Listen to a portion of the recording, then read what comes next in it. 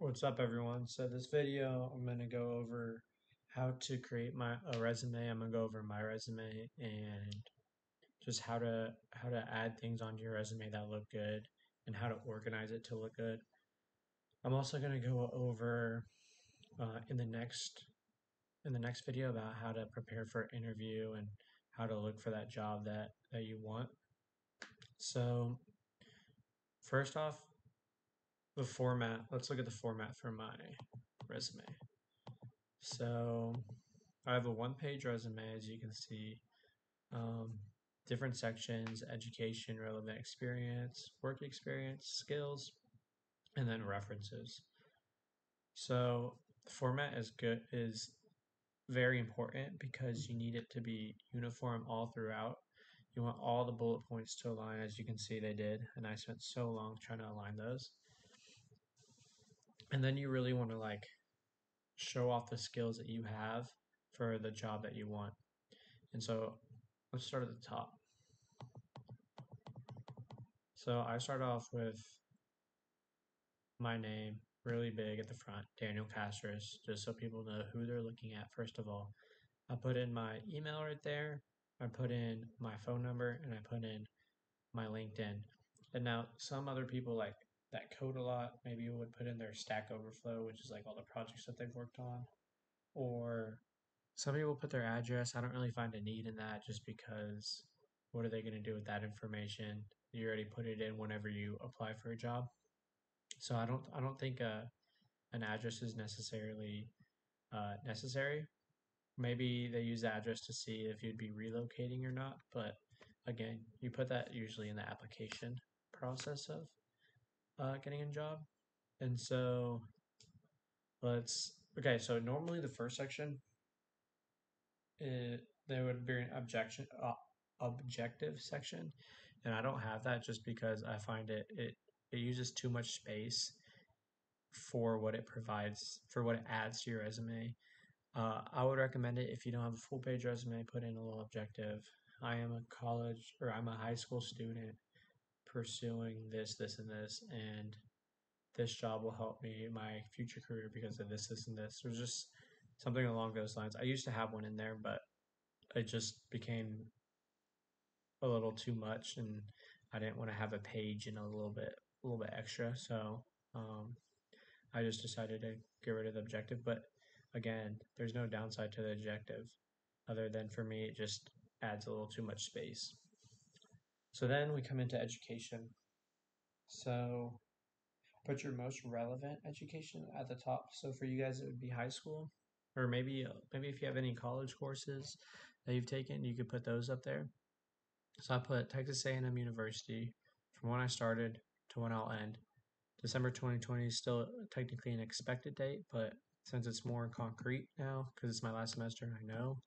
Then I put December 2020, and then I went went ahead and put in my uh, my degree that I'm in, electronic systems engineering technology, and a minor in cybersecurity. And then after high school, I also did. I went to the Merchant Marine Academy originally, like I told y'all, and so that's what I have right there. So it has the the dates that I was there and has what I did when I was there. So a little bit of leadership right there. Um, I didn't put in my major just because I found it would be more useful to put in the leadership experience I have there than the actual major I had there. So you just have to kind of be smart about that. Think about like what you did there, what what what will have the largest impact for your resume. And then I put in my and then okay, so for you guys, you might just have one bullet, maybe two if you have a little bit of college experience. But I don't have my high school in here just because if I went to university, they probably figured that I already graduated high school. That's why I didn't put that in there. Now, for you guys, you would probably start off with your high school, the date you started, the date you expect to graduate.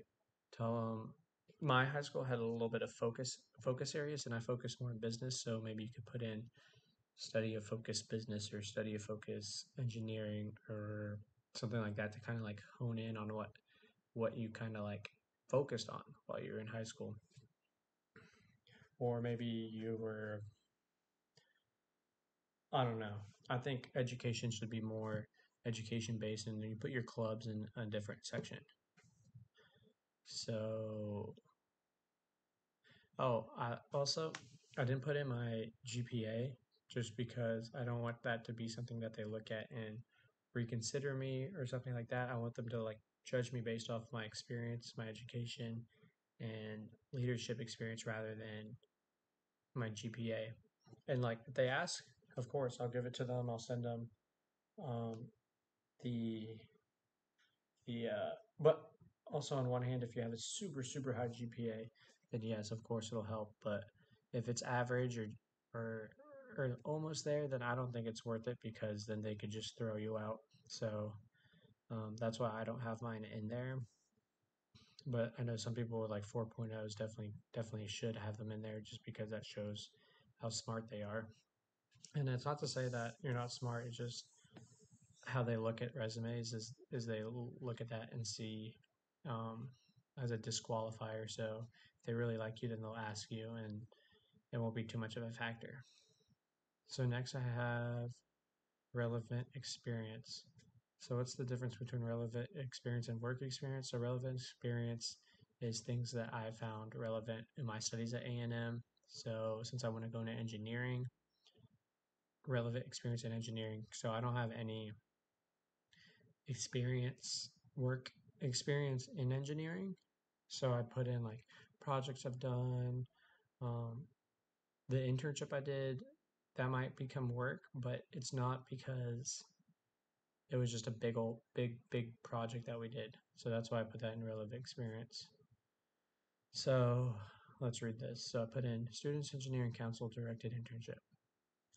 And then I put in what I was, team leader and financial analyst right here. From May 2020 to August 2020. I put in where it was located, College Station. And I put in so whenever I put in these three bullet points, I try to put three to two bullet points of what I did. So I enhanced my leadership communication skills teamwork through an interactive program conducted by 20 plus industry experts. So you should be very specific. That's why I put 20 plus industry experts. I didn't put multiple industry experts. I put 20 plus. I put in what I improved, my leadership communication skills teamwork, which is just words that recruiters like to hear um, and then I go into doing more of the technical stuff of what I did. Design it innovative. This is an important word. Instead of just saying designed a VR system, I made sure that it sounded futuristic, more complex, more exactly exactly what they want to hear, like not just something that everyone has done.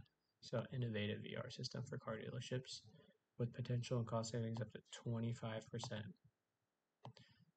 So this is important too because I'm saying exactly how much they could save car dealerships. Um, so it's important to put in words like that, like an innovative, and then exactly how much they're saving. This allows them to really like understand the importance of your project and just instead of just saying it was a VR system for dealerships. That would save them money. It's really is specific it gets them interested in the product or in the experience that I had, and um, it makes them want to read more of your of your relevant experience. So led a team of five. So I could have just said led a team, but of five shows like how many people I was in charge of through the design process, honing leadership skills. So just saying how I um, how I had leadership experience in this whole entire internship. So again, you want about three to two bullet points per experience, which will really help you. So let's move on to the next one. Advanced integrated mobile solution. So this is my capstone project. So I was a software engineer, as you guys know, and I'm still working on this. And maybe this could go above this one now, just because it's still going on. This one ended. But you put your most um, most recent at the top. But these two are like were kind of went hand in hand because this one was inside of this one, so that's why I put it above. But now since August has passed, I should probably put this one above. So this one I talked about what we did. in Capstone, what I did specifically, um, things that I did, what code I used, developed, developed the code. Um, so again, you just really want to focus on on the technical stuff and be specific about how um, about how we had weekly reports among 30 plus college students and professors, stuff like that.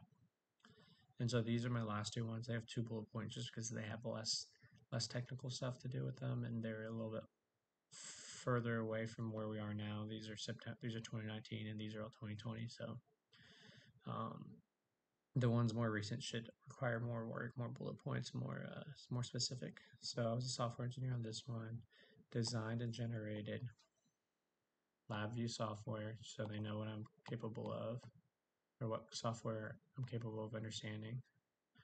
Wireless commands to robot, installed DAQ hardware instruments, and led a team to place second. So I was able to use led, a good verb that they like because it shows leadership skills. Second place out of 30. This is specific because it shows how many how good we were instead of just saying play second out of how many teams do. So this is able to really show how how well you did.